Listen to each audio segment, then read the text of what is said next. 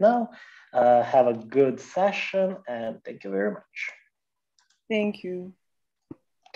So I would like to very, very warmly welcome uh, today's uh, lectures and participants of our panel and in the name of the University of Arts Belgrade.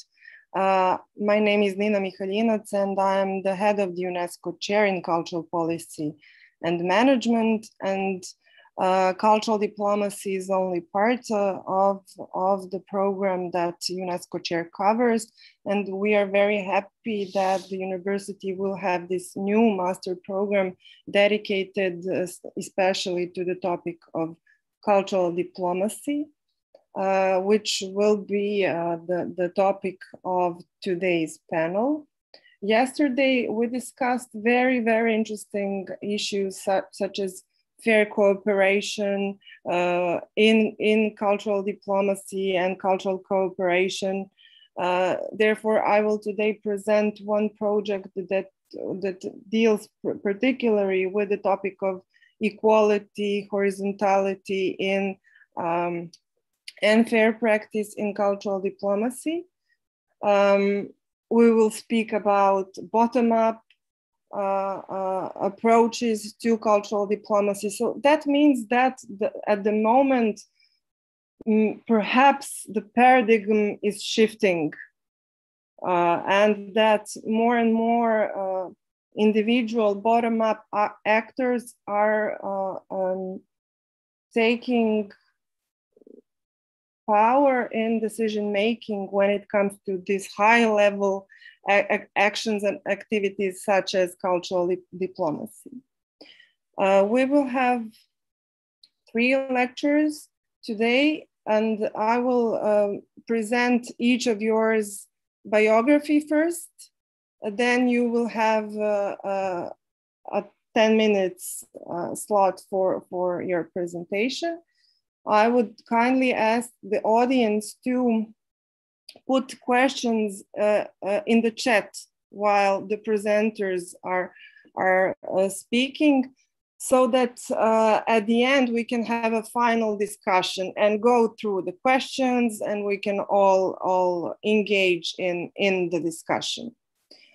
Uh, so um, the first presentation will be given by Professor Lluís Bonet from the University of Barcelona with the topic Bottom-up Cultural Diplomacy, a critical perspective on EU cultural diplomacy um, policies. And um, this topic will be connected to uh, the Creative Europe project he is part of uh, with, a, with the name Stronger Peripheries, a Southern coalition, which implies, well, the, the activity of a global south in in uh, in the global relations. And i'm uh, also very happy that our faculty of dramatic arts is a, a partner in this project. Professor uh, uh bonet i have to say uh, that as a student i recalled your name. So i was 22 fundraising for your coming to belgrade to a conference uh, uh, so your your name uh, and your activities are very well known and promoted in our curricula. Um, uh, professor doc, Dr. Lluís Bonet is a professor at the Department of Economics and director of the Cultural Management Program uh, of the University of Barcelona. He has been a research fellow at the MIT and the University of Montpellier and speaker in almost 50 countries, uh, winner of the CSI Research Prize. And he has been president uh, of the jury of the Cultural Policy Research Award and jury member of many other research prizes.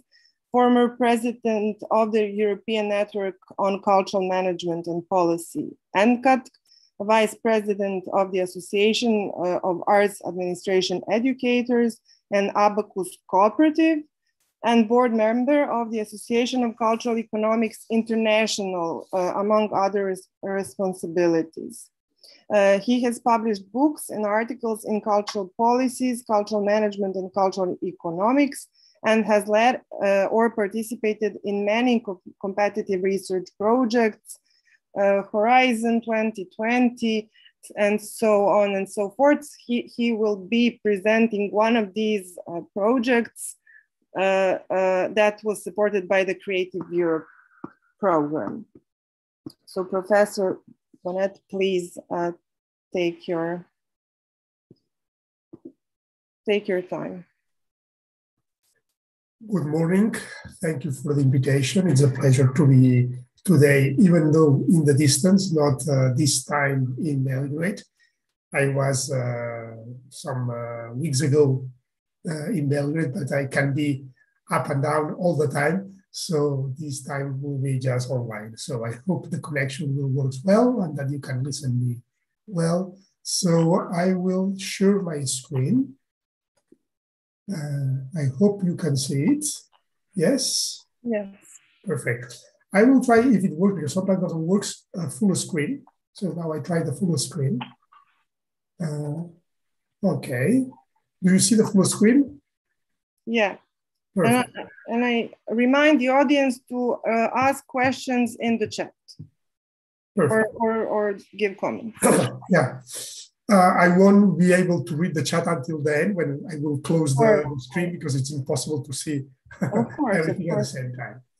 Okay, so uh, uh I prepared uh, a presentation with two sides, with the first part, which will be a little bit more theoretical, and the second part, which will be more practical. So the idea is I will, I will just start with some conceptual clarification, just a very, very short introduction.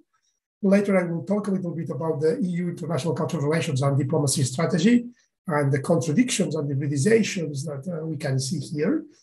I will talk uh, later about uh, two EU and as you can see in brackets, funded project. Why in brackets? Because the first one is funded.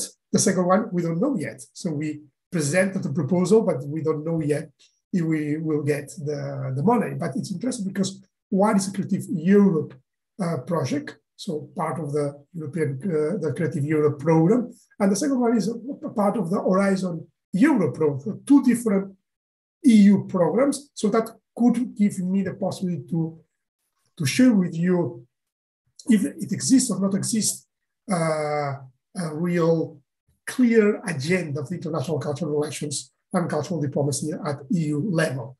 Uh, so I will. Dear, dear professor, sorry to intrude, yeah. but uh, the PowerPoint is not full screen. I think there's maybe a problem.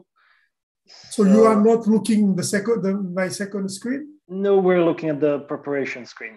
So, so now, now do you see it? Yeah, now we see the. Slide. Okay, so you see just the my own screen, so with everything. But in any case, I yes, I this will work right. Yeah, now. it works. The only problem is that I I prepare some animations, and in this presentation mode, we will lose lose the the the, the animation. Well, but it's not it's not very important.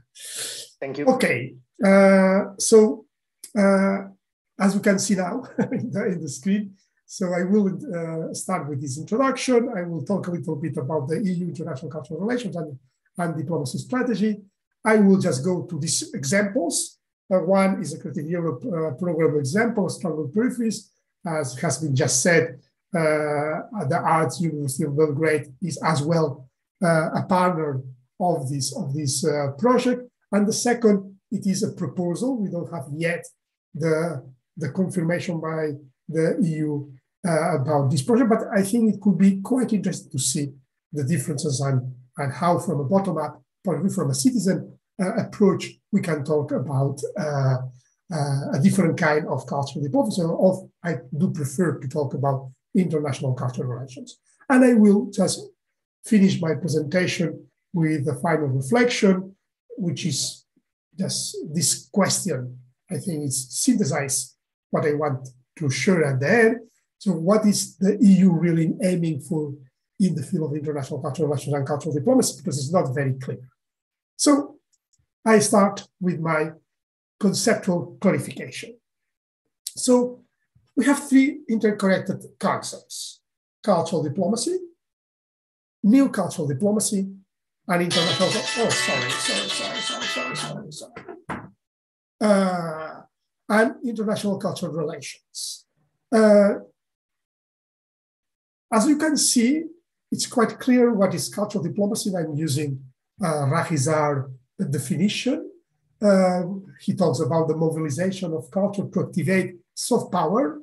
So an essentially interest-driven governmental practice. So cultural diplomacy, as uh, Raj Isar defines, and I share with him this approach, is governmental driven. The new cultural diplomacy has a little bit uh, a different approach because it's a two-side and reciprocal cultural diplomacy, which is it's cultural diplomacy, yes. Is governmental driven, yes. But we need two sides agreement. It's not just one side which has their own strategy and impose their strategy worldwide, but you need the double approach. And finally, the third concept, international cultural relations, I'm using Higgott and Lamonic uh, definition. So, and they said they try to foster culture to build a consensus and a common, a common knowledge on the international stage based on argumentation. What it means based on argumentation? It means that uh, different stakeholders propose ideas are in the in the in the marketplace, so they are in the agora, and in the agora, all these strategies, all these proposals, uh, based on argumentation, tries to uh, to build a consensus. So the idea of consensus and common knowledge is in the core of international cultural relations.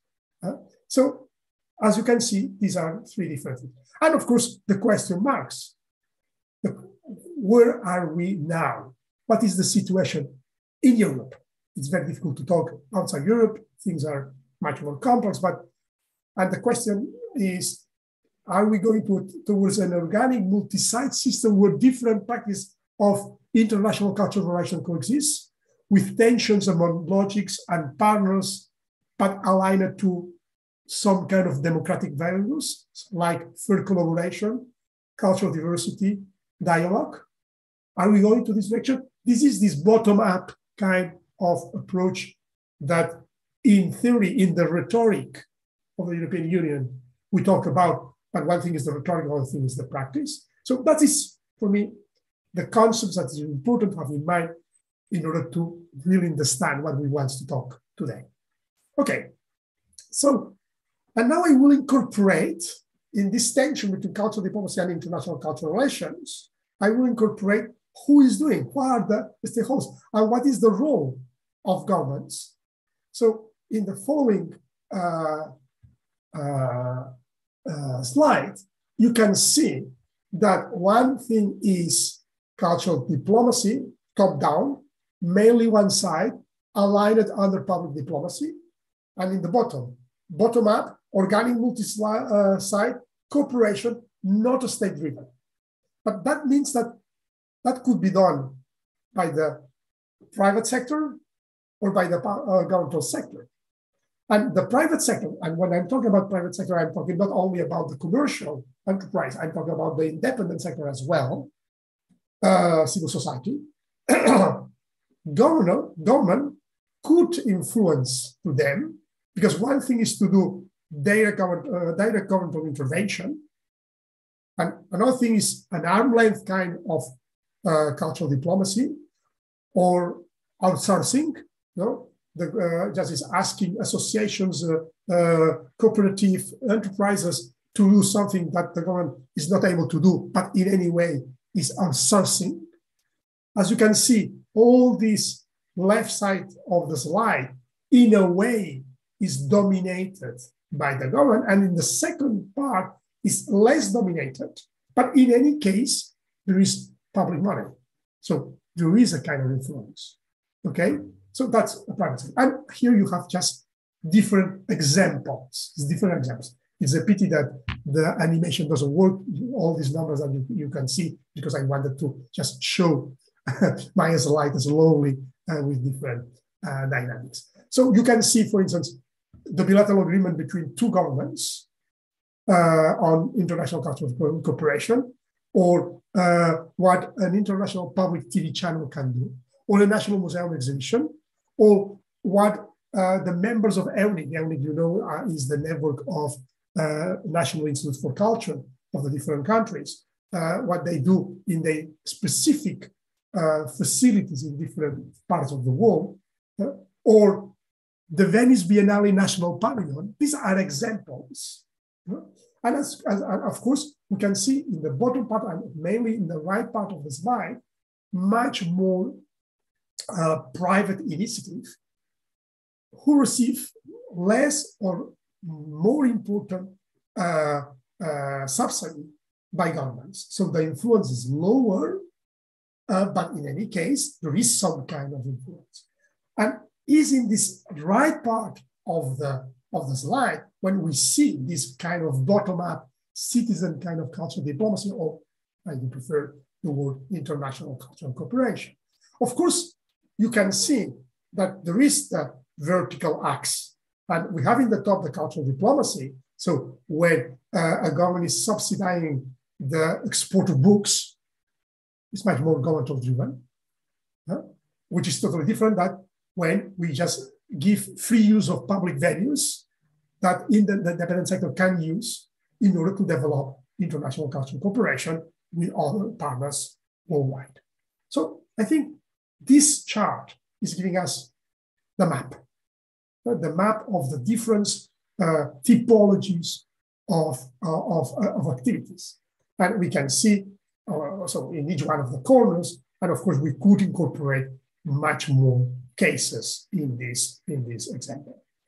Okay, so going back to the European Union, we know, probably has been, been said before today or yesterday in these conferences, that in, 19, uh, in 2016, uh, after some preliminary phases, the EU decided to include culture in its foreign uh, action, which is new because um, following the, the treaties, this is a subsidiarity kind of policy. The external policy is in the hands of the national governments, not in the hands of the EU. The EU has just a subsidiary role. So the word is joint communication, suggesting a blurred line between the cultural diplomacy of the EU member states and the new EU international cultural relations companion. And it's important to have this in mind because uh, uh, we are in this logic of subsidiarity. So the EU member states are the responsible for their own cultural diplomacy and international cultural relations, both. And they are the main actors. Well, not the main actors in relation to international relations because the private sector, the independent sector is also very important, but yes, from a political point of view. And what is the role of the EU international cultural relations? It is complementary and is subsidiary. And is based on these three rhetoric arguments. And I underlying the concept rhetoric. Cultural diversity and respect for human rights, a cross-cutting approach to culture, and mutual respect and intercultural dialogue. These are the main three uh, um, outcomes that this kind of policy uh, pres presume to not. And, how, and not only is complementary and subsidiarity, but also is using specific programs, existing programs, to conduct. So there is not a specific program for that, specific fund for that. But the EU is using the Creative Europe program, the Erasmus Plus program, the uh, Horizon Europe program, the, the NDICI, which is the cooperation uh, uh, strategy for the, for the developing countries, and others, the regional, uh, cross-border, other typologies of programs, but there is not just a fund for this new policy. And this is important to have in mind because, in a way, that means that the, the, the, the money is, and, and the programs and the projects that we can present uh, in the different uh, proposals, uh, uh, uh, the different calls, have to at the same time respond to these three main objectives, but also to the logic of each one of the programs. So if we are in the cultural, uh, in the, uh, in the um, uh, Creative Europe program, we have to follow the logic of this specific program, which has been thought only for cooperation among internal EU members. Exactly the same when we talk about Horizon Europe, Horizon Europe is to support research uh, cooperation among uh, uh, EU members. But here again, now we are using that for doing things outside Europe for the international cultural relations ago. When we talk about Erasmus Plus, exactly the same. So I'm explaining this because it's in this conjunction of logics that the calls works and the, pro, the, the founded projects have to both have sense in this double logic. If we don't understand that, we can't understand how the EU can support citizen-based bottom-up kind of projects. Okay, so when we talk about the topics, so the focus, so supporting culture as an engine for sustainable social and economic development, as you can see, sustainable social and economic development means social development and economic development, two important topics. Promoting cultural and intercultural dialogue for peaceful intercommunity relations, and reinforcing cooperation and cultural heritage. These are the three topics, okay? So that is a little bit the focuses, and is in this context that we can understand what we are doing. Okay, so um, uh, as you know, and I will now close one second the presentation because I want to open uh, the, the web. So the, I will just share my screen, that the screen which is, I hope, sorry, because sometimes I don't know why, when I have so many things open. Uh, oh my God. Uh, I don't know now how to share the, okay, this one. Do you see it? Yes. Okay, this is the stronger peripheries. Uh, okay, perfect. Do you see? Yes.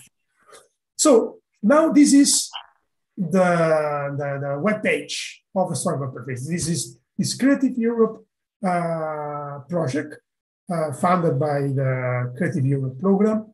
And as you can see here in the webpage, and I like to show the webpage and not prepare a specific slide for you because it's the way that to introduce you to all the resources that you could find later in this webpage. So Stronger Peripheries is a project of the Southern Coalition, a space for dialogue, collaboration, and joint learning to question and discuss the notion of South and periphery uh, through diverse collaborative artistic strategies. Okay, so I think it's important to understand that. So this is clearly a bottom up.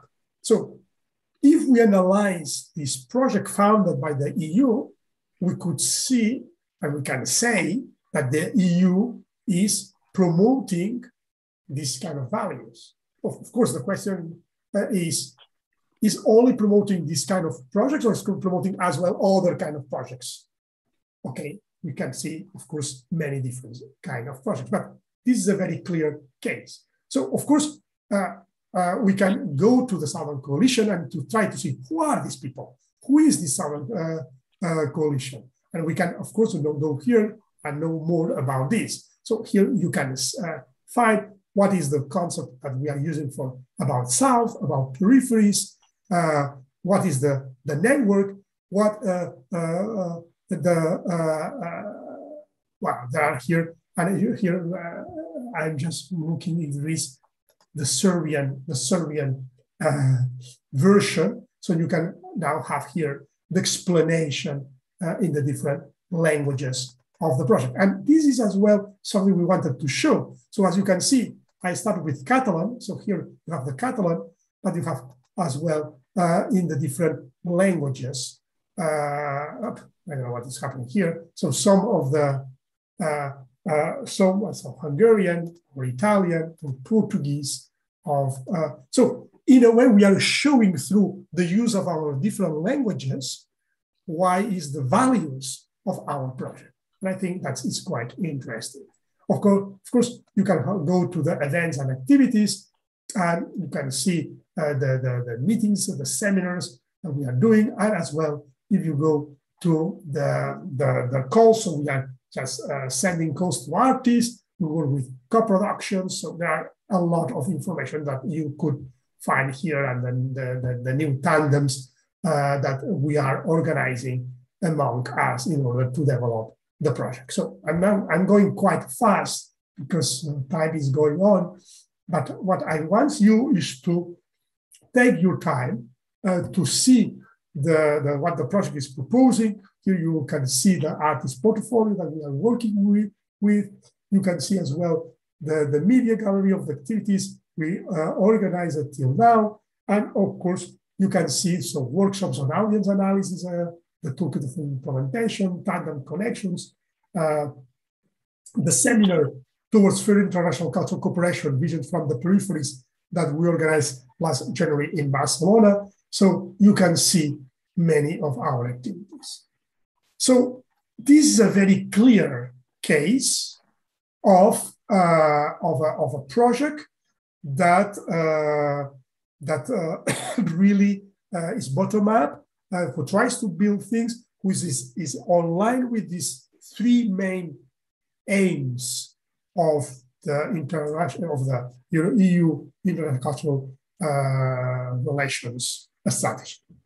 So later maybe we can just go further in during the uh, questions and answer, but time is going up, so I have to to try to to go further. So the other project, and I will be very, very short because, uh, uh, sorry, because I need to go again to the, okay. This is, this is the presentation. So these are, so these are, the other project is uh, Pertain. Pertain is, I hope, will be founded by the Horizon uh, Europe. So uh, this is a cultural, uh, sorry, it is a research program of the European Union. And what is about is public-private partnership in the international cultural relations, which in a way the objective connects with the objective of the call. So we need to propose something from the bottom, but it's what is connected to what in the call is asking. So it's always when you present a proposal to be founded to the European Union, we need to, to find the, we, to, to merge what the call is asking you and what is your own interest and try to see the, the, the, the, aspects that uh, are in common in order to propose something which have a real possibility to win. Uh, uh, for instance, in our case, we are competing with 57 other projects, 57 other projects, and we know that the EU only will found only will finance three of these 57 projects.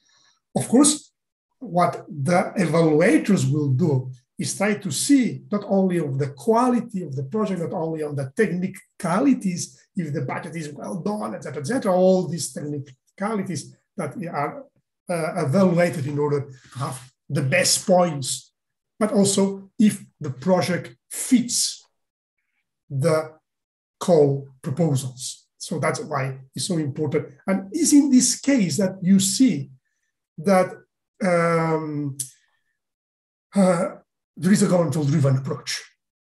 Because who wrote the call uh, requirements and aims are the civil servants, the, the people, the policymakers. So, in this way, even though we could do something absolutely independent, uh, it's clear that we need to, to, to, to merge with the call proposals. So after these two examples, I'm really sorry because I didn't have time to develop them a lot, but uh, we have other people in the roundtable who uh, won't be very happy if I'm talking too much. So uh, what is the current situation? Well, the, cur the current situation, and I'm using a couple of researchers' points of view, is that uh, inside the European Union, there is tension between the different external action services and delegations. So the political section is focusing on culture for political dialogue with third countries stakeholders. The press and information section wants culture for strategic communication of the EU, and the cooperation section wants culture for development. So we see tensions uh, among this, the agreement of these main goals. But finally, specific, uh, specific um, civil servants in the External Action Service and delegations, each one is pushing in relation to their own agenda. Second issue that Mafalda Damaso uh, in uh, her report uh, underlines the long-term policy goal. So uh, from persuasion or attraction towards a strengthening civil society from the bottom up. So that is the long-term policy goal, the rhetoric one. But we also see a more geostrategically dualized world where uh, unilateralism dominates. A strong relation with civil society in other countries can be seen from ECR bottom up. But at the same time, the idea of supporting liberal values in the long run, contributing to geopolitical resilience. And this is very important to have this in mind in a moment. And I think the Ukrainian war is in a way showing very clear how the previous global uh, uh, process has been substituted for a more regional geostrategical uh, approach. In this way, in this process, what will be the role of international cultural relations founded by the EU? Hmm? So and that's why I'm using Higgins Santa Monica uh, view. So the world, they say, and they said this before the starting of the Ukrainian war, the war is not multipolar, not it is tightly bipolar. And uh, in, when they wrote that, they talked about USA and China, but this as well an era of growing populist uh, nationalism. And in this approach, the EU ECR is dysfunctional. Now, it is dysfunctional because the paradigm it was built in 2016 and later uh, yeah, is changing. So we will see if there is or not a clash between EU ECR narrative, the ambiguity, uh, the role of the, uh, the each uh, country, and as I told you before, uh, each one of the national governments are the ones who define their own cultural diplomacy and international cultural strategy. Sorry. But, but at the same time, we see increase of the budget because Creative Europe and neighborhood uh, policies as well develop international cultural instruments uh, uh, are now have a better pro budget now but in the previous six years.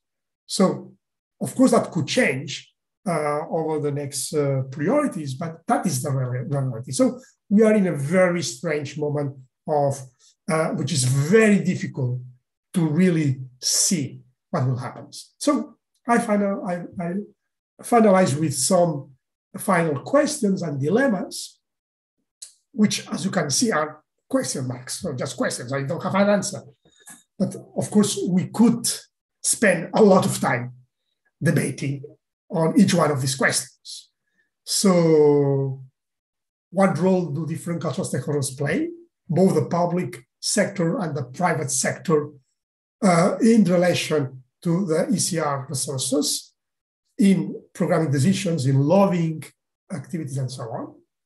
Uh we also can ask if is there a, greater autonomy of cultural institutions, so less state-driven cultural diplomacy uh, are these conditions to, for fairer international cultural relations, protection of cultural diversity, and promotion of equitable cultural dialogue? Are we in this, in this position or not? Or would it be more difficult in the event of a predominance of a more rigid state-driven cultural diplomacy? Maybe that is the next future, we don't know yet. Or will stronger bilateral relations better secure the opportunities of countries with fewer resources? Because of course, in the EU, there are not all not all the countries have the, the, the, same level of power. So uh, if we want to develop a specific policy? Is bilateral relations better than this multilateral approach that the EU is framing? So, of course, we can discuss at the EU level more specifically uh, what is the role of the different uh, countries, uh, what is what are the role of the most influential countries, German and French foreign ministries, or the European cultural networks, or EUNIC, or the professionals. Again, the problem with the Ukrainian crisis and the tightening of international relations. So, what is the role for cultural international cultural relations in this new context? Uh, and finally, what can we do for strengthening further collaboration, diversity, and dialogue? So, I finish here. I'm sorry for being so fast in my last comments, but I know that time was just uh, very short. So, Thank you. Uh, Thank you.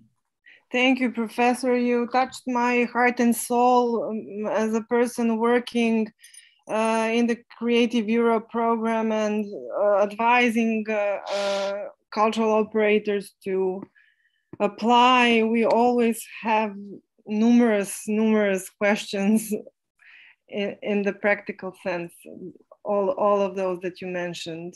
And we're having internal emotional conflicts and ethical conflict conflicts all the time. Um, so now we're gonna um, hear the second presentation uh, of the two colleagues from Italia, uh, Vittoria Lombardi and Stefania Mangano, um, with the title Culture and Projects, Communities as Agent of Cultural Diplomacy, uh, Diplomatic Processes, the role of participatory cultural projects and practices. Um, this is again the question of bottom-up uh, approaches in shaping cultural cooperation. Uh, please let me uh, read the biography of uh, Stefania Mangano, who will be uh, presenting. Uh, she is uh, sorry it will be uh, Vittoria yeah there will be only me to the, uh, okay okay. Uh, so Vittoria is a curator and director of cultural projects gra graduated in international studies for development and cooperation. And since 2012 she has been working as a creative producer and project manager in the cultural sector nourishing her interests along the line of intersection between artistic practices and social research, particularly site-specific, participatory, and community-based projects on a national and international level. She recently specialized in social impact assessment and welfare community management at the University of Turin and Bologna cultural leadership, cultural diplomacy, and results-based management, embedding those approaches and tools in her curating daily uh, uh, practices. She believes and sustains performance as a tool for promoting and fostering social inclusion, community empowerment, and political consciousness. And since 2002, she has been working as a project designer, welfare community manager, and audience engagement expert at the social enterprise as Nudi SR all over, if I uh, uh, read it correctly. Um, the years she, she, took part in several cultural exchange, uh, exchanges sustained by Boarding Pass Plus program, uh, encountering artists and communities from Southeast Asia and Latin American countries. So, Vittoria, the floor, the floor is yours. And uh, thank you very much. Thank you very much. And thank you everyone for inviting us uh, to take part in this uh, in this conference.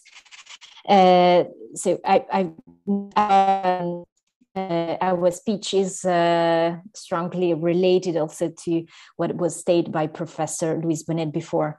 Um, and uh, we title, we name our, our speech communities um, as agents of cultural diplomatic processes, the role of participatory cultural projects uh, and practices because over the years uh, we have um, observed how international cultural projects and intercultural exchanges have a specific role in uh, fostering mutual comprehension at in uh, at intercultural level, uh, reaching goals of intercultural solidarities that are at the core center of cultural and diplomatic actions. So Cultural Projects has been dealing for years in uh, curatorship and productive development for the performing arts with a, a specific attention to site-specific projects uh, based on the involvement and active participation of communities.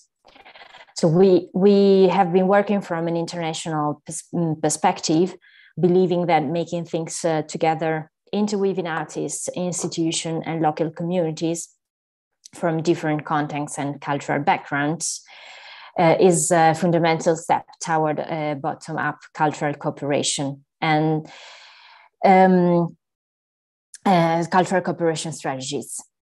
But, but the question that uh, um, uh, that arise in uh, in our practices is which role do we have as artists, producers, and and, and cultural mediators in these processes, and how does the role of an artistic production of a festival and the theater program, for instance, or a cultural projects uh, that acts as windows as well to other cultural contexts uh, by making international co-production possible or presenting works from different cultural backgrounds differ from the role of cultural diplomatic institutions. So, how could we find innovative ways for collaboration that recognize uh, the broader role of the cultural sector in democratizing intercultural relations in a, in a more people centered way that involve communities as agents of cultural diplomatic processes? So we, we believe and we stated that bottom-up cross-cultural collaboration between artists and cultural professionals can leverage multiple opportunities as well for traditional diplomatic institutions to redesign contemporary strategies of cultural cooperation, letting new languages and participatory practices to cross over. So, cultural diplomacy uh, as a political science born and developed in a specific historical moment that was linked to the idea of exporting cultural values to maintain a specific geopolitical hegemony and a specific territorial balance through, uh, well, often linked to cultural colonialism. So the idea of cultural supremacies and that the Western world had something to teach was uh, sometimes an explicit, sometimes a more subtle belief for a for a long time. But nowadays, the need of, for a cultural diplomacy that is conscious of the necessary, the constructive, and the colonizing processes that, uh, that lies in how we approach culture, intercultural relations is something very urgent. So globalization and digit- digitalizations uh, have progressively downsized, if not reduced, um, sometimes the role of traditional cultural institutions. And we can already observe a different and prominence of civil societies organizations in promoting cultural diplomacies and in being the new protagonist of a different approach. Um, and, and we believe that through the support of uh, those practices made by as well by, by the cultural uh, civil society organization also the more traditional cultural institution can regenerate themselves um, we observe that direct funding for culture, for example, through the European funding program, has led a great number of private individuals to become promoters themselves of processes sometimes consciously, sometimes uh, more unconsciously, of cultural cooperation. And this funding and support are a downward distribution of that diplomatic power that uh, that institution used to have and still have. And we believe that this uh, distribution of diplomatic power is something is something good that can bring bring some uh, interesting transformation.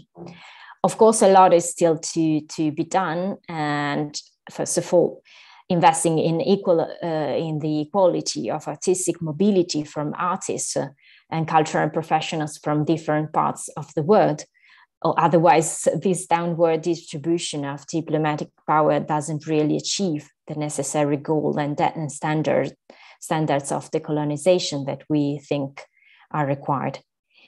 Uh, but what is the type of cultural cooperation that arises from uh, bottom-up processes and how why do we stress the role of participatory techniques techniques in that so participatory and site-specific projects uh, are always uh, strictly related to the context and depend and rely on the context. It is, in fact, the context that dictates the role, the, the rules and development of a project, and the context cannot be ignored. So this is a primarily uh, and the disruptive element um, because it shifts completely the role of the artist and the cultural worker facilitators to a second to a second a, second plane to a second level. It is an it is uh, uh, yet an engine the, uh, for the development of the creative process but it it remains in the background so the agency of the uh, of the participating community that brings its own experience and subjectivity into the process is the very protagonist so participatory practices make local communities equal actors within the creative projects. So this, the, the exchange is mutual and not one way. So each person is a local, has the possibility to become a local ambassador and the space for negotiation between is actually created in a more equal way. The second aspects that we think um, that we think characterize participatory process and, and make and make them um, a, a, trigger for cultural diplomacy is uh, is the, the, the, need for long-term permanence in a place that that that brings the um, that brings the artist and the cultural professional to deepen the local context. So we don't and and and to learn actually uh, how the, the local context uh, um, is, is, is, is working and functioning. So in fact, in a, in, in a conference that was, was held in Milan at the end of 2019, uh, that was uh, about the interna- internationalization of the Italian art scene, it was actually discussed that the value of internationalization is actually what we do we take home as lessons learned rather than what, what rather than what we expert in terms of competencies and and in fact one of the question is actually what kind of impacts can you can can lessons learned from abroad can generate in, in your local context at the same time, there are other examples that we think uh, about bottom-up uh, processes and bottom-up local projects that uh, foster cultural diplomacy. Uh, there, there, there is an increasing an increasing number of local cultural projects that deal with diaspora communities. For example, in, uh, in Milano, Milano Mediterranea, which is a post-colonial participatory arts center that speaks the languages of the Mediterranean uh, aims to involve citizens through, through a participatory art residency and a permanent workshop that is aimed mostly at young people and it, uh, it, it, it address the diaspora communities of the Mediterranean that are uh, that are uh, um, often invisibilized in the cultural processes to, to, to, to shape link uh, between different concepts. Um, at the same time, uh, the circulation of uh, theater projects that address uh, topics uh, related to intercultural um, intercultural relations uh, could foster uh, cultural diplomacies. And this is, for instance, the example of an Italian artistic company that we work with, uh, which is named Corps Citoyen, uh, which is an Italian Tunisian company that is uh, shaping a, tri- a theatrical trilogy about the perception of the others. And um, so we, we, we, we, we started with um, with a performance that was addressing the perception of the, the orientalistic perception uh, of the other, um, starting from the, the, the, the, quintessential form of representation, and uh, which is the scenic fiction, and bringing these uh, bringing bringing this this show in different contexts um, actually opens uh, uh, opens a, a, huge debate uh, among different um, in different communities about what is uh, the meaning of being represented um, the identity representation of the other that is uh, is always uh, is always a link um, so with something that happened within inter- interculture and connection um, so I will I, I will close uh, with um, quoting uh, um, quoting um, a part of um, quoting a, a, book that is um, that is named Communities of Imagination: Contemporary Southeast Asia.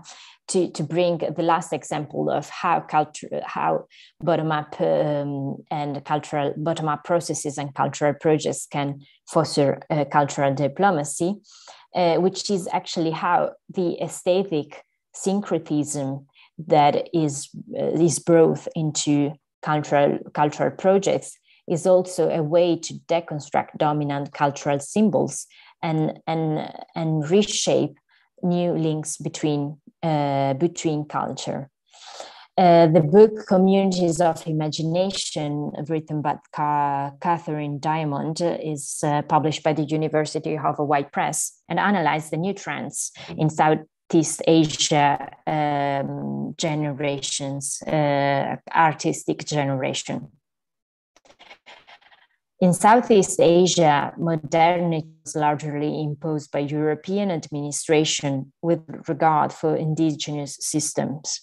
When foreign and theater became identified with modern, indigenous theater became traditional, each defining contrast to the, to the other the new theatrical styles, content, and stage technologies introduced by 19th century European colonizations affected the indigenous theater in three basic ways. Traditional theaters attempted to incorporate trends in foreign aesthetics and stage technology, even when they went against their own characteristic.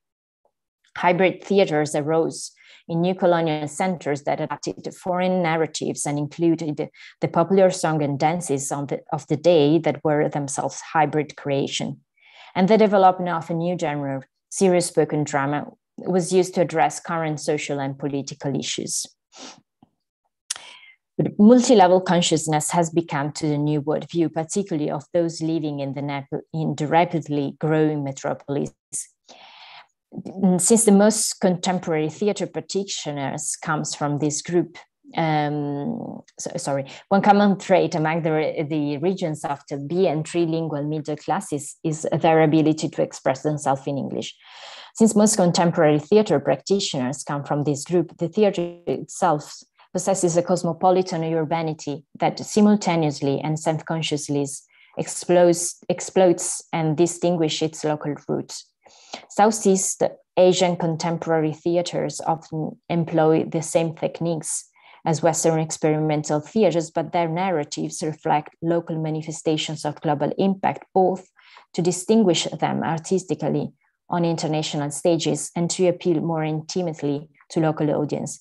So they demonstrate an awareness about how they stand in relation to not only other types of live local performance, but also the mass media, foreign theater trends, and the nebulous standard of and the enable uh, and the nebulous standards of being the world class. So it's actually this um, this excerpt is, is stresses how the uh, aesthetic hybridation, uh, the aesthetic syncretism is also a very interesting, a very interesting element uh, through which observe how we uh, how we could deconstruct dominant cultural symbols and and build new way of uh, in international and cultural encounters. Um, we we we read uh, some some times ago uh, a provocative paper um, that was uh, written by by uh, Nan van Houten, the former secretary of IETM, the International Network for Performing Arts, uh, that was named "Should Our Funds for the Arts Pay for Cultural Democracy?" So we should say that actually, fund for the arts should pay for the arts, as art can be a very powerful device for cultural democracy in itself. Thank you very much. Thank you. Thank you, Victoria. Okay, because we have a lot of uh, questions and, and interesting um, uh, issues to discuss, let's just uh, switch to, to the third presentation uh, by, which will be given by Fandango Fronte, Fronterizo, a cultural uh, a worker uh, um, who works on the Mexico-US border. Um, and Paola Elean Nieto Paredes from the Sibelius Academy, board with the title of the presentation, uh, Border Diplomacies, Other Diplomacies the case of Fandango for, for cultural events Mexico, Mexico border. Uh, Paola is a cultural manager from the Mexico City and based in Helsinki. She's experienced on artist, artist management and event production in the fields of music and performing arts. She has worked for several organizations and artists in Finland and Mexico, such as Compagnia Cari and Ronnie Martin, April Jazz Festival, and so on. She holds an MA in Arts Management, Society and Creative Entrepreneurship by the Sibelius Academy, University of Arts Helsinki, with a secondary subject and research focus on management of global cultural expressions and uh, diplomacy. Uh, therefore, Paula has interest in developing art projects that promote intercultural dialogue and mutual understanding between societies. And she also holds a specialization in cultural policies by Universidad Autónoma Metropolitana uh, and a, BA in Cultural Studies and Cultural Management by Universidad de, del Claustro de Sor Juana. even though we we watched a lot of uh, uh, uh, Latin American soap operas, our Spanish is not that good still. So Paula, please, uh, the floor is yours. Okay. Hello, everyone, and thanks uh, for the introduction. I hope you can hear me well. Mm -hmm. um, well, I'll start sharing my screen. Um,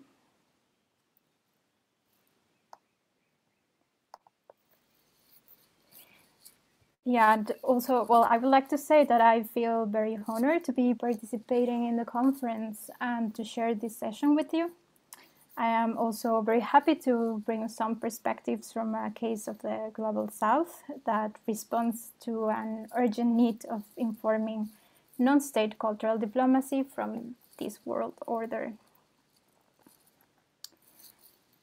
Okay, so in 2016, the United States of America experienced one of its most controversial presidential campaigns that gathered extensive coverage by the international media.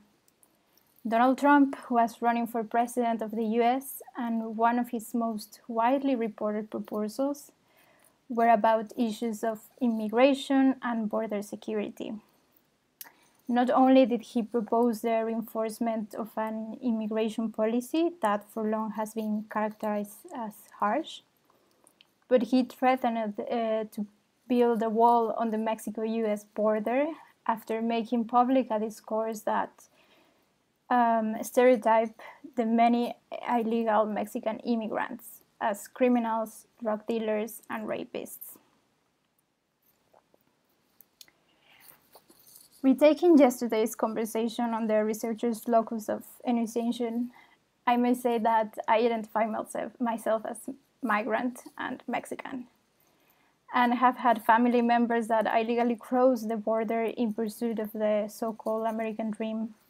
So you can guess how shocking this discourse was to me, as well as to the many immigrants and inhabitants of the borderlands who were promised by this campaign with even more material, legal, and psychological harshness. And I say even more because the security enforcement of the border started already in the 20th century therefore revealing a complex binational relationship marked by multiple crossings, permissions, and prohibitions. Indeed, according to the author Oliveras Gonzalez, there are two opposed yet interweaved connotations in the, in the understanding and identity of the Mexico US border region. First uh, is this hybrid and transborder character, full of connections and flows that simultaneously coexist with the connotation of separation, where contrasts, inequality, and power asymmetries are reaffirmed. In other words, it is an asymmetric nation between two nations. I'm not going to dig into the very interesting political and social-cultural dynamics of this area, but on screen you can see how the borderline and the borderland, in this case between Tijuana in Mexico and San Diego in the, in the US, physically look like.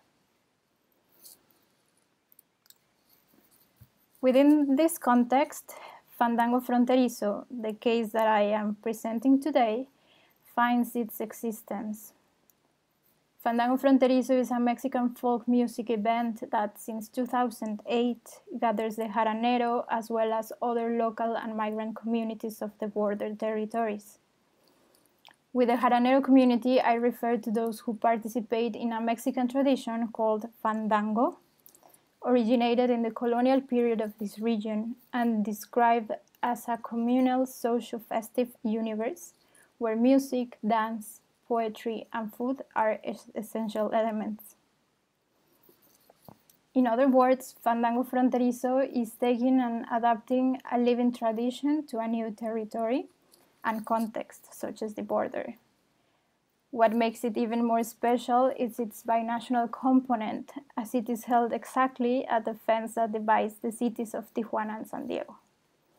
Therefore, the attendants at both sides interact, dance, play music together despite the physical separation.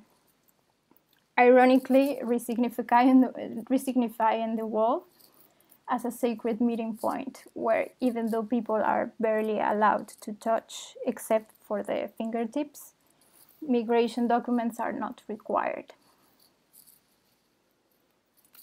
Uh, by analyzing the key narratives, images, values, social cultural outcomes, and other elements produced by Fandango Fronterizo, and the means in which these impact the local and migrant communities in the border, it is possible to state that Fandango Fronterizo is an example of non state and bottom up form of cultural diplomacy in the following ways.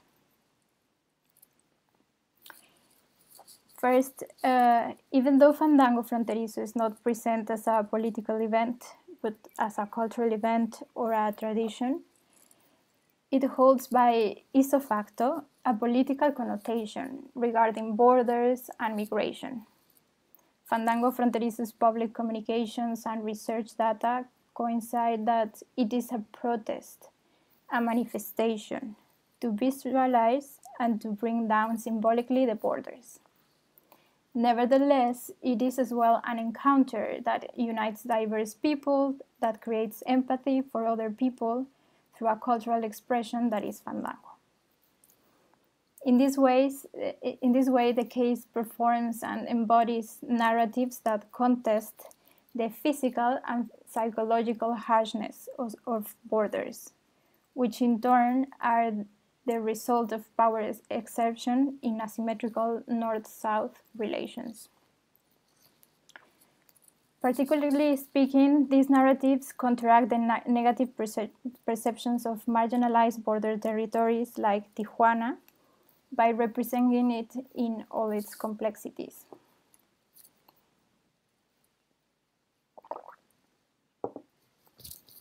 And in more general terms, it engages on an issue of global concern, which is migration. Therefore, appealing to other territories and experiences outside the Mexico US framework, where physical or ideological borders exist as well.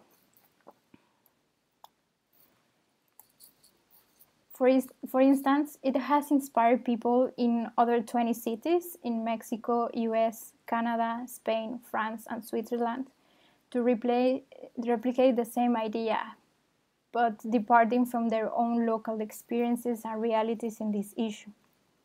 Here in the, in the presentation, you can see images of the Fandango in Basel, Switzerland, outside the premises of a federal asylum center, where they are playing for the migrants who are placed in confined spaces. And next to it is a map of this network that creates a rather horizontal relation to their other counterparts in the world and beyond the structures of a nation state relation. Uh, so, well, the first two bullet points I have talked already about that. Then uh, there's the social cultural impact that Fandango Fronterizo generates in the border. Uh, translated in terms of creating heterogeneous communities, in supporting the identity reinforcement of the participants, and in building safe spaces for intercultural dialogues in a migratory context hit by political harshness, violence, and other unfolded naturalizations of inequality.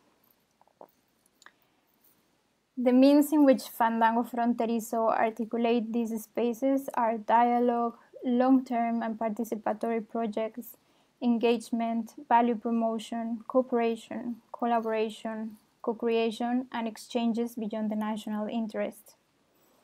Means that parallel, of course, to newer critical approaches of cultural diplomacy and which are favored as well to showcases, self-promotion, and image projection promoted by the traditional Western state-centric model of cultural diplomacy.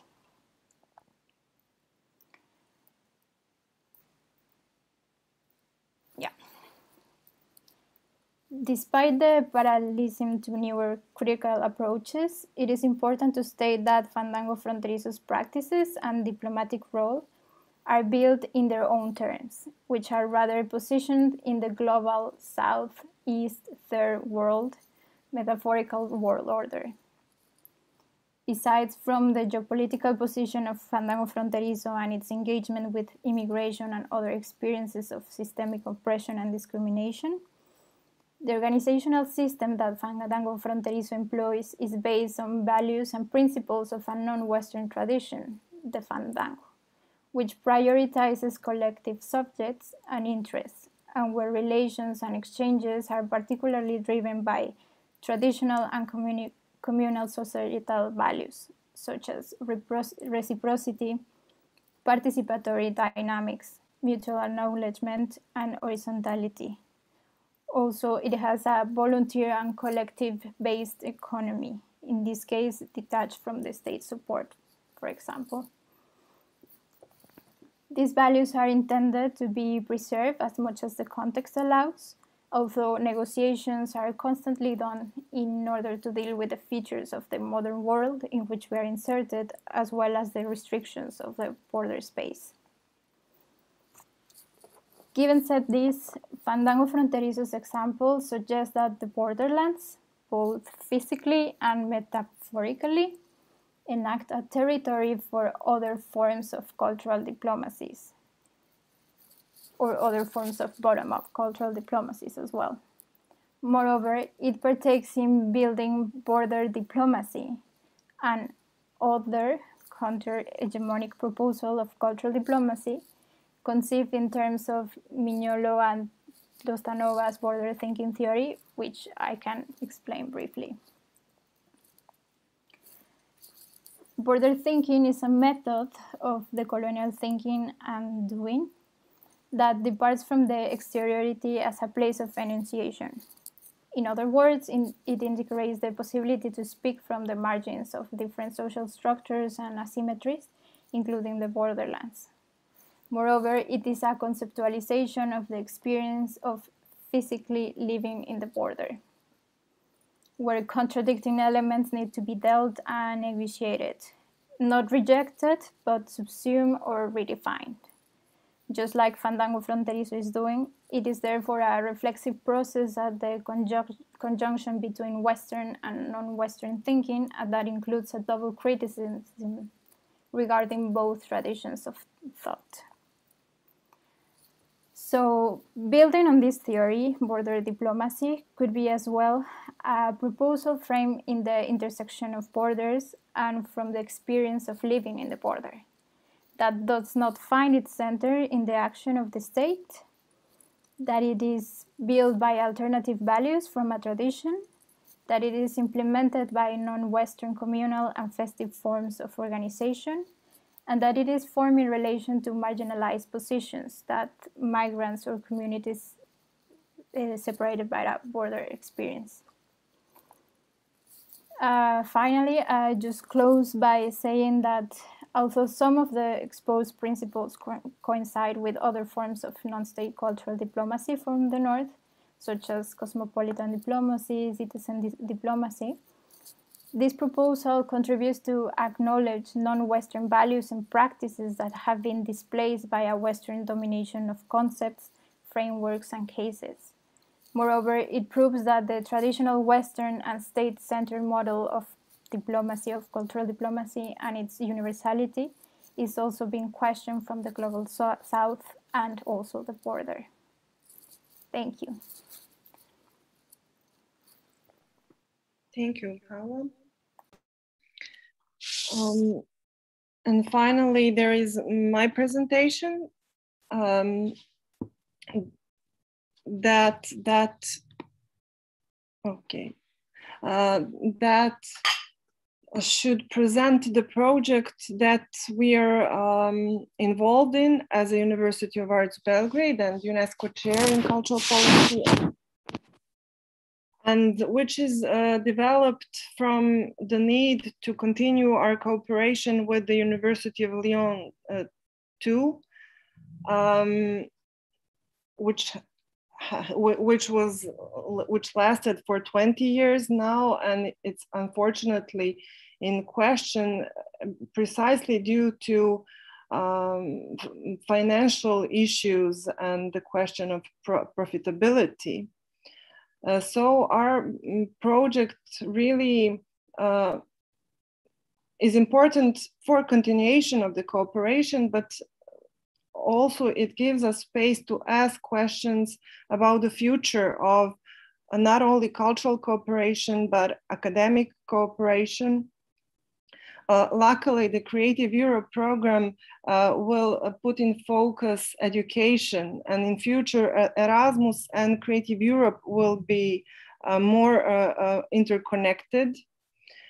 Um, so I, I really see uh, this project uh, as a, a, stepping stone, as a, as a milestone, as a good opportunity for, for us to rethink all the questions that were raised during even this panel. Uh, so the name, the, uh, the title of the project is SHAKIN, uh, Sharing Subaltern Knowledge in Cultural Cooperation.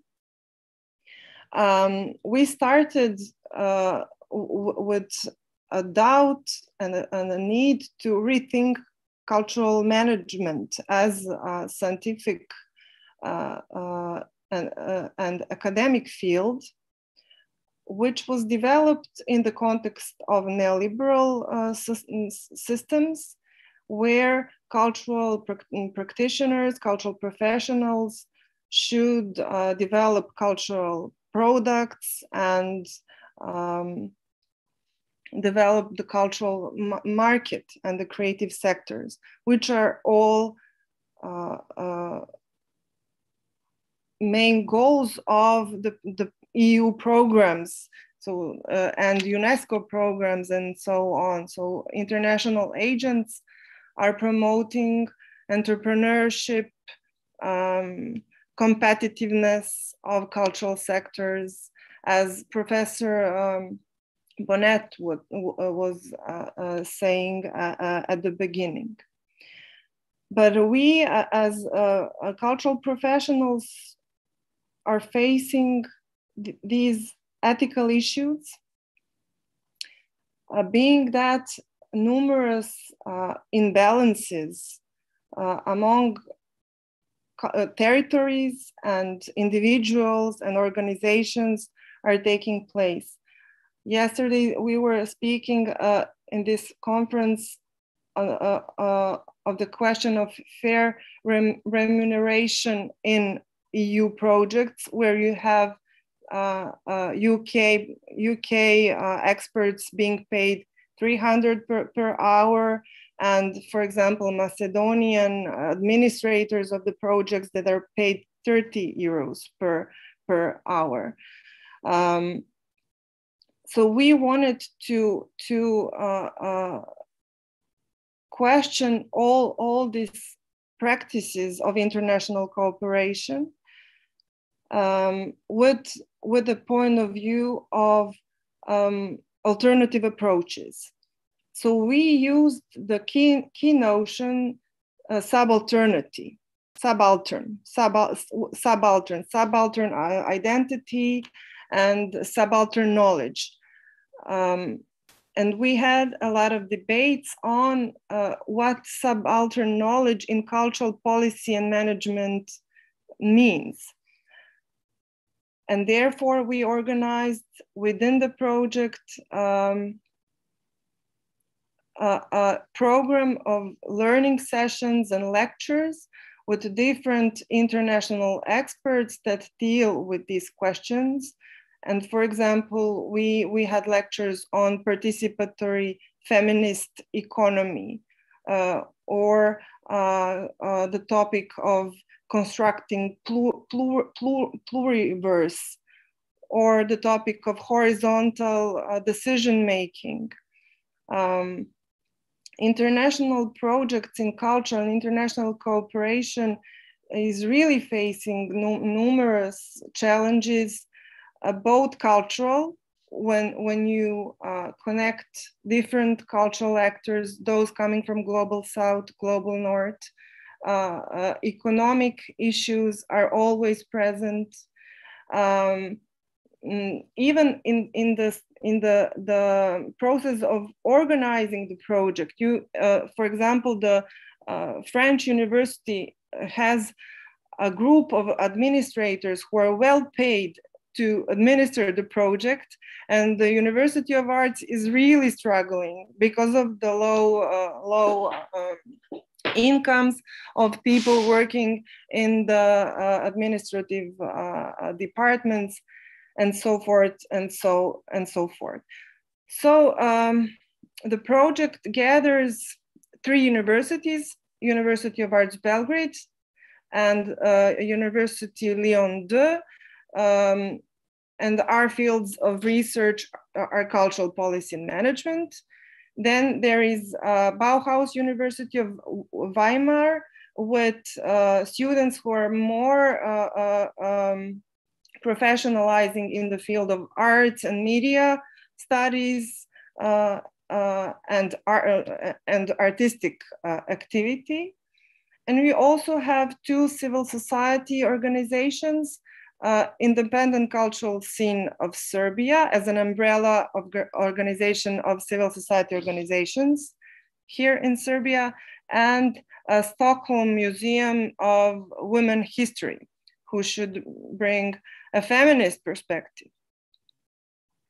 And when, when I say feminist perspective, it, it is still not clear what feminist means because feminism has different uh, uh, uh, it can be defined in different theoretical context, contexts. So therefore, um, uh, we um, decided to uh, form a platform where our students will be able to uh, uh meet and conduct international projects together, mentored by people who are part of the consortium, both practitioners and academics. Uh, we formed groups and uh, organized uh, mentoring sessions with students who were developing projects. They were uh, also supported by uh, invited and guest experts with their lectures on the topic of subalternity. And we are, we are also, uh, for the sake of sustainability, developing a platform, an online platform that will be, uh, uh, that will serve as a space where all, all these people who meet within the project and all our alumni will be uh, um, able to, to continue then their work and continue to be supported by, by uh, our institutions. Um, so the process started, uh, we finished the first year and did an evaluation. And I will try to point uh, to certain uh, uh, uh, conclusions that we, and certain issues that we faced and discussed after uh, the evaluation. One question was, are we actually being, uh, by giving this opportunity for horizontal learning, uh, shared leadership, uh, working with the topics that are completely alternative to what's going on in real life, uh, are, are, we being uh, irresponsible towards our students? We didn't give them that much knowledge in project management, um, uh, budget, uh, um, um, budget management, financial management, fundraising, uh, audience development. So we didn't give them all those skills that are in core of cultural management that much. We didn't have time. So the focus was on new new ways of organizing new ways of thinking and new topics that they're that are not that much present in uh, cultural management curricula so finally after the first year we're not sure if they they will be ready to to um, step up on the market and to fundraise and and do do the work that that is um, necessary. So that was one issue uh, that that was that was raised. The second issue uh, that I was particularly uh, uh affected by was the the grading process. So all the time we were talking about uh, horizontality and uh, um, shared decision making, but at, at the end, uh, we, the professors and the mentors, were the one giving grades. And uh,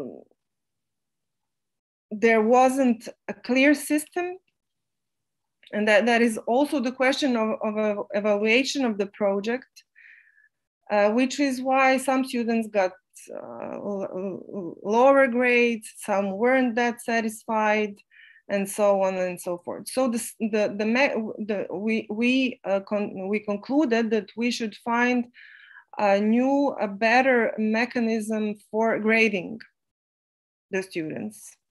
And even we proposed some some new alternative models such as uh, uh, giving the students opportunity not to be graded or to give the grades uh, to themselves to self-evaluate within the group. So these are new questions that really can reform uh, university curricula. And th this is why the project is really uh, exciting and can be uh, transform can transform um, our approaches to, to academic teaching and learning. Um, we also faced the, the um, question of promoting the identity politics. Um, majority of student projects uh, dealt with a certain identity group, uh, whether it would it be artists or an LGBT community or elderly uh, people. Uh, uh, and they were developing their their uh, um, pro projects primarily uh, uh, with an idea to help help those uh, vulnerable vulnerable groups or marginalized groups. And majority of them uh, worked on the topic of artists. So certain mentors and certain professors were criticizing this particular uh, issue by saying that artists are not the most endangered uh, uh, groups of people in today's society. And that uh, the students see themselves as those who are part of the subaltern groups. And this is also the, the question of having a privileged uh, a privileged uh, uh, position within within within a project within a, a society. Um, so we will make some changes in the second year. Uh, we decided to have actually to have a more firm uh, uh, schedule, more firm um, division of responsibilities. Uh, and from, from this um, laissez-faire uh, attitude, now we are, we are uh, the, in the second phase, we are uh, uh, aiming to make a clearer structure that will will finally support the ideas of the project. And mm, this is one of the most important things that, uh, that we conducted that we concluded. Uh, so self-organization should be learned from the start. So how to self-organize how to be uh, how to work in horizontal manner that is something that should be um, decided first. And luckily there are a lot of uh, um, literature and knowledge and experiments uh, on the topic of self-management also in latin america also in spain um, and we believe that all these knowledge should enter more more decisively in in the corpus of uh, knowledge shared within cultural management structures whether uh, it's uh, universities or uh, networks such as ENCATC. So the project hasn't finished yet. We have uh, time to develop it, and uh, I will be happy to share um, all the future future results and experience that we gain. And um, by this, I will conclude or even ask um, professors who are now present and part of the project if they want to add some uh, some of their experiences within. Uh, if not, we can proceed to the discussion part uh, because there are a lot of uh, questions raised during the, the lectures. If you agree, we can do that.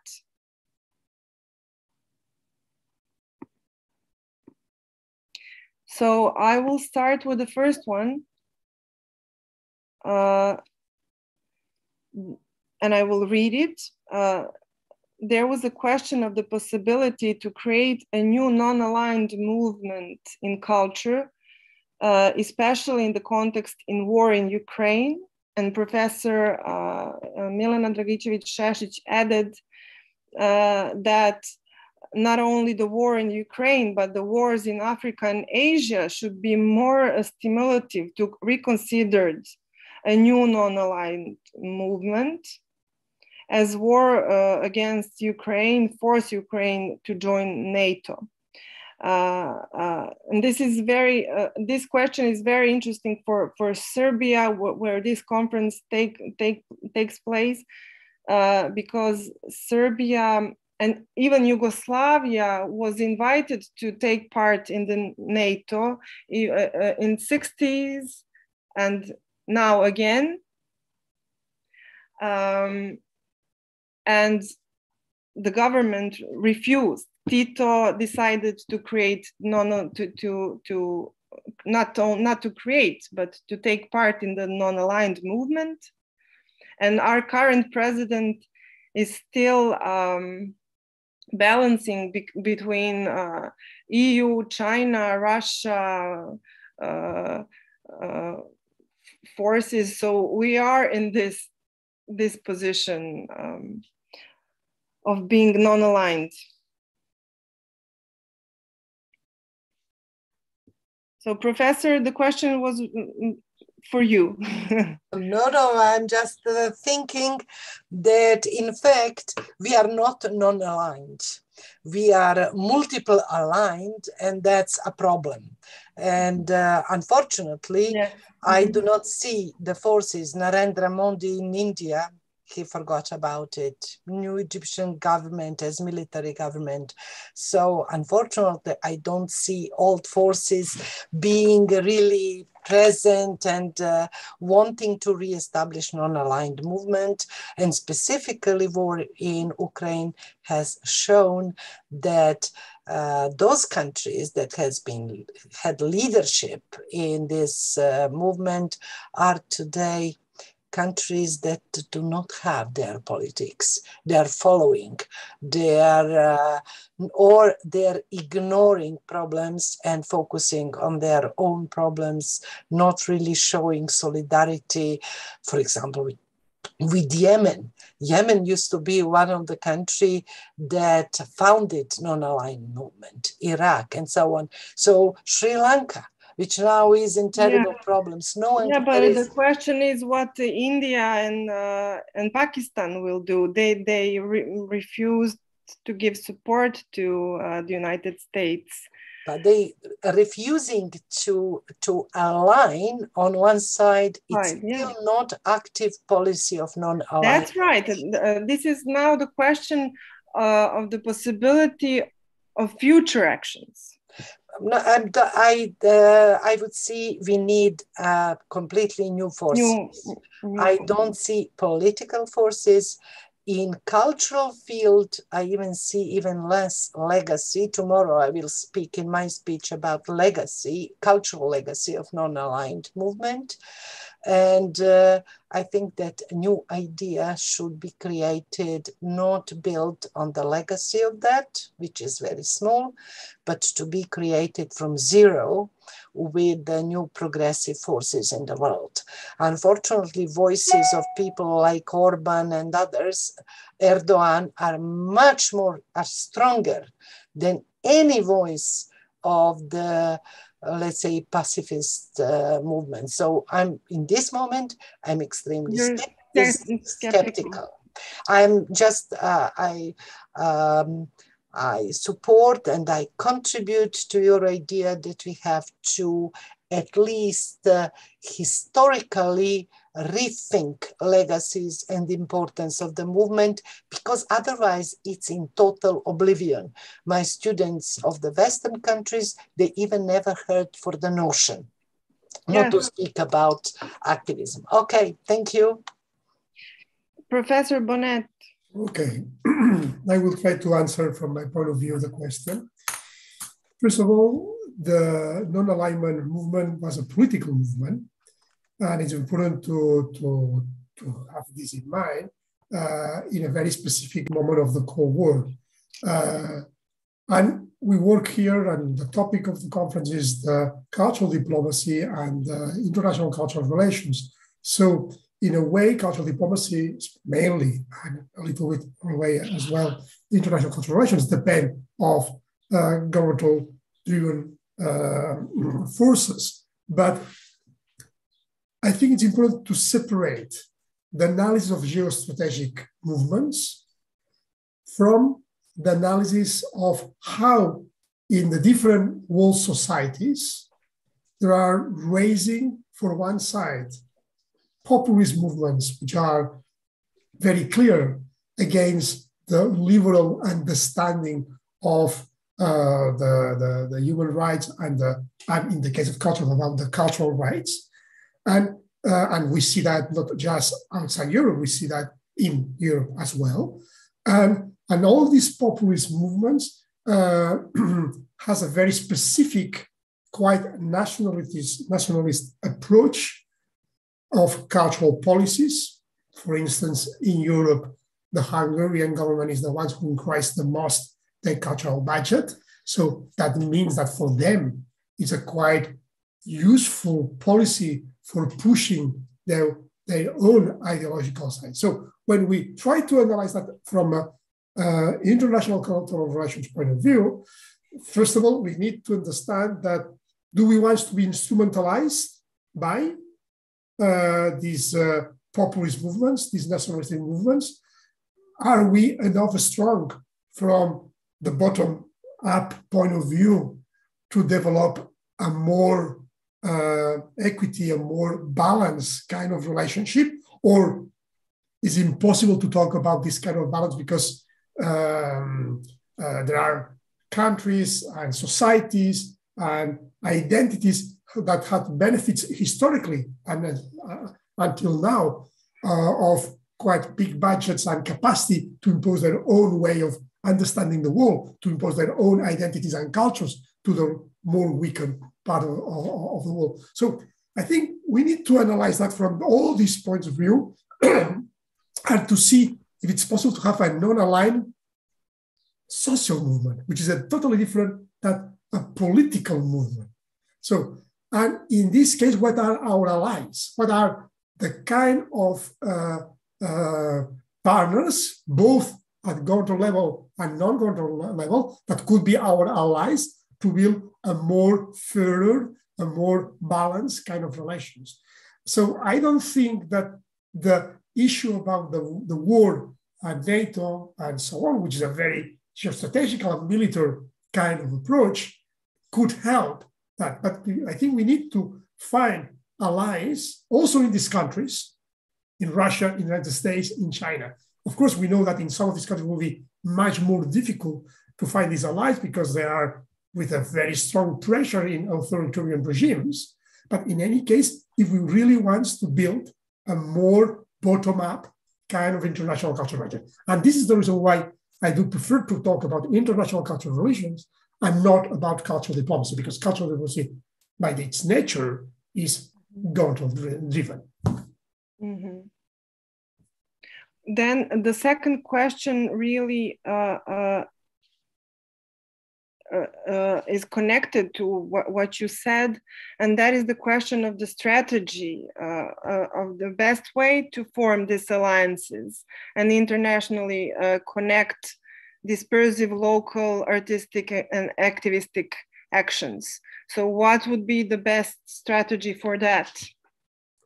From my point of view, bottom up again, without having any problem to receive money from people who have maybe some mm-hmm. very clear interest and they are trying to instrumentalize us. Mm-hmm. So we need to know what are our red lines, but at the same time, we have to be intelligent mm-hmm. and use the money if we think it's not totally contradictory about our goals in order to achieve this kind of alliance. So to mm-hmm. meet people by people, for instance, it's easier to work with a public museum in this equal situation with a with the public theater but with the governmental level, which is much more political oriented. So why not we try to work with all the levels? So excuse me, with all public and private institutions, but always in this bottom up, trying to find the the the, the, the, the, the specific spaces for building a more balanced kind of cooperation. Thank you. Vittoria?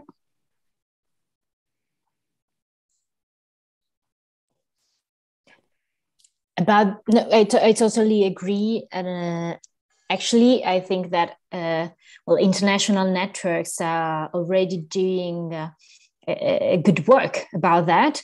Uh, I, I, was I was quoting IETM network, but Culture Action Europe, uh, mm, uh, all the um, uh, networks that that that in in, a way um, uh, do uh, yeah do advocacy for the arts uh, from a more bottom-up uh, processes. They are actually the they are voices uh, within the political political discussions, and they they they try.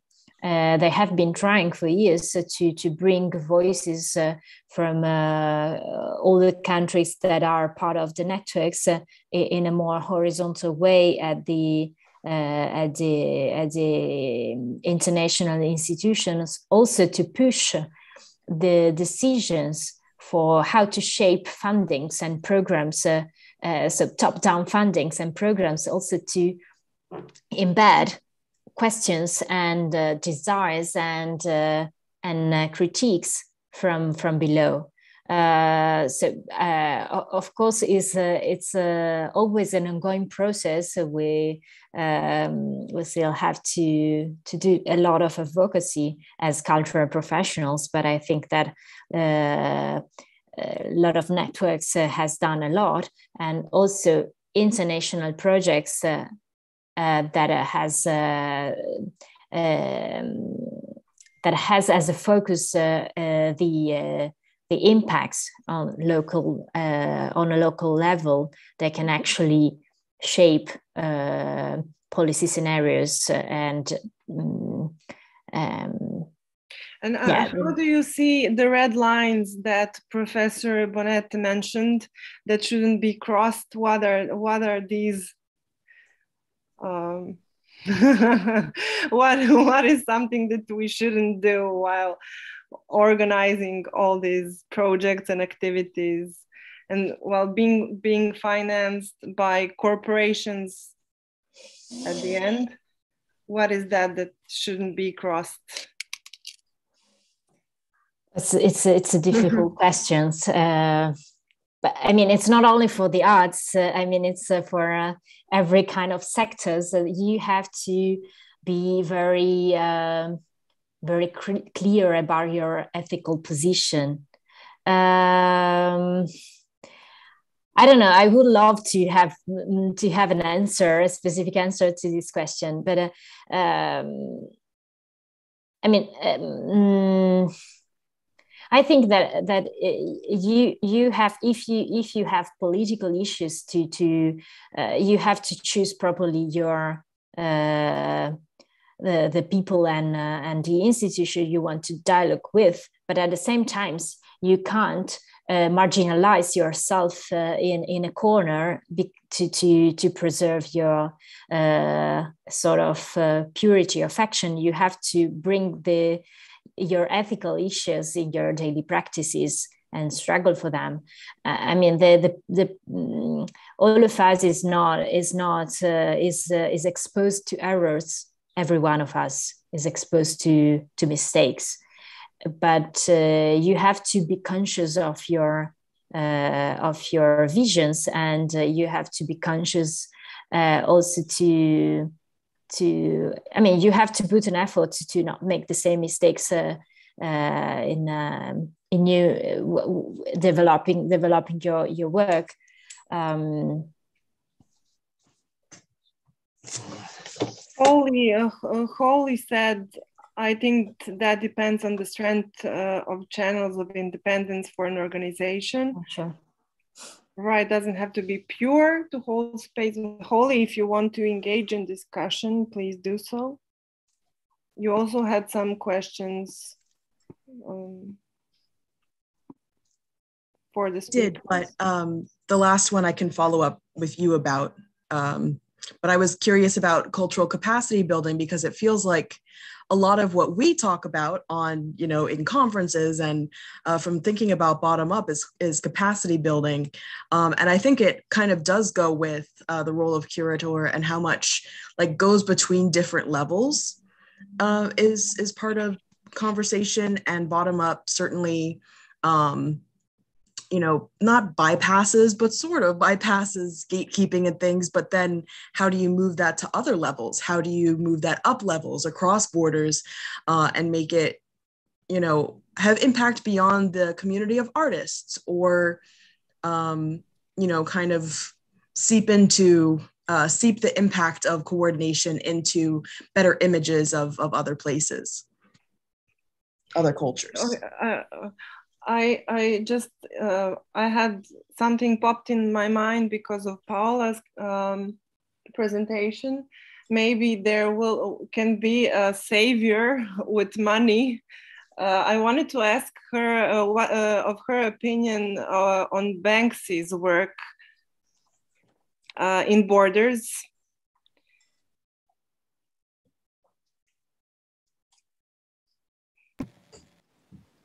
Ah, can you repeat? I, I couldn't hear it. Uh, uh, I, uh, I wanted to ask of your opinion of uh, Banksy's work on, on, the, on the borders, the artist Banksy. I'm sure you've heard of. Uh, ah, yeah, like the. Well, for example, in the Israeli uh, Palestine border, he built a, a very big uh, hotel like post-colonial UK hotel, and he was selling uh,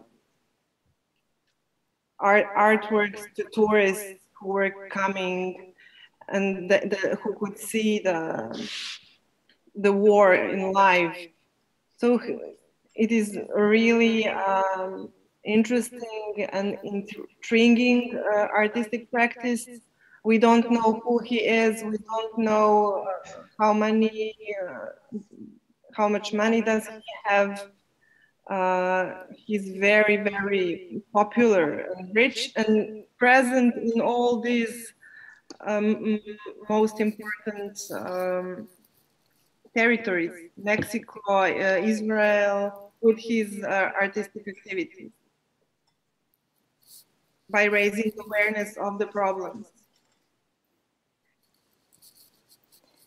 yeah i'm not quite sure if you're talking about uh, this like art piece that was uh, placed in the in the fence. Yeah uh, maybe i can find a link. Yeah where people could like gather together and play. Yes. Yeah well actually i think like the the border in general and in particular that fence that it's in Tijuana and San Diego, there's been quite many artistic, um, yeah, artistic pieces uh, exhibiting there, and there's been quite many installations. But also there's like the whole uh, borderland area. It's it's full of of cultural activities and in, and exchanges like some festivals or even like celebrations where they share like um, yeah th- that they share space like in, in san diego and, and tijuana. So it's yeah it's quite a lively place. And i think that this also um, encourages a, a view of the border, like a different view of the border that we normally see in the in the media, for example, which is quite violent and harsh. Um, I guess. So what do you think in investing in uh, artworks on the border or some other forms of supporting the, the, the endangered community by a very rich artist? Well, I guess it. I mean, it. It's it's it's fine. It would be. It, it's nice because they they have the the chance to, like as you said, spread the word about the. Raise awareness. About yeah about about the conditions of of the border and what's going on there of course, there's as as also what Victoria was uh, uh, pointed out. It, it's also about how your values and as an organization or as an artist, uh, which are your values and which kind of like resources or funders will you accept? For example, in the case of Fandango Fronterizo, there was this particular situation when uh, because Fandango Fronterizo is not funded by the state and it's mostly funded like they sell their own products and they have also some fundings from non-profit organizations and it's also mostly uh, funded by like volunteer work. So um, yeah they had this situation when that there was a like a brand who wanted to support uh, with some money uh, the event, but uh, the board of the like the collective who is organizing it decided not to get that uh, that money because it was against these traditional values and and ideologies of, of like it was more like a commercial brand so it went against their values so refusing certain funding can be uh, this red line that we mentioned. Yeah, yeah, it's of course an, an option, and and at the same time, I would say that they are dealing with uh, as well with these issues of funding because anyways they are inserted in like in a marketized system so so if it if it was just like the tradition in a in a small town in Mexico, it works. It, it can work as, as it was originally created or or developed, but because this tradition ha- has been taken to a different context, which is the border, and there's also other like there's a system around it, like um, capitalist system, then they also have to struggle with that and deal with those with those situations. So it's kind of trying to find the balance where they they can get like this uh, where they have this uh, like volunteer work, uh, which is like very traditional based, but also like dealing with with these other realities. So. Thank you very much. Uh, I think that our time is up. If there is somebody who uh, who has an urgent need to give a comment, a question, or to share something, now now's the time for that. Um, uh, thank you very very much. Uh, uh, I hope we will. Th this is recorded, so other people will, will be able to, to hear very interesting presentations that we heard today. Uh, so please enjoy your day. Thank you very much. Thank you very much. Bye. Thank you. Bye. Occasion. Thank you.